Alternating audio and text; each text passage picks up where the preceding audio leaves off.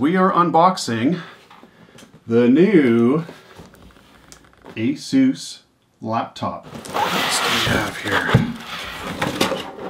There is a box for the laptop.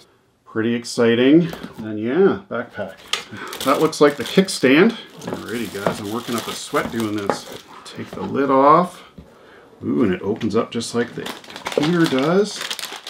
Here it is.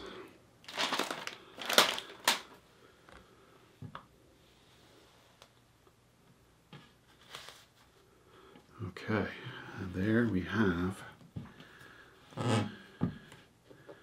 the new laptop. We're going to take our little screen protector off of there.